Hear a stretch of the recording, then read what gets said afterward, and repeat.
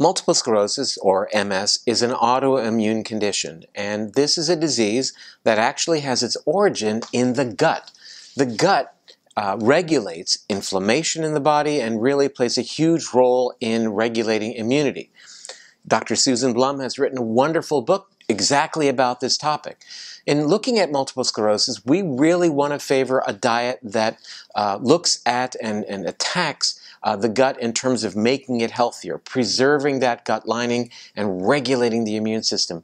And that is a diet that is low in carbohydrates, higher in good, healthful fat, a diet that's rich in fermented, probiotic rich foods, and also, very importantly, a diet that has lots of prebiotic uh, fiber in it that will nurture the good gut bacteria.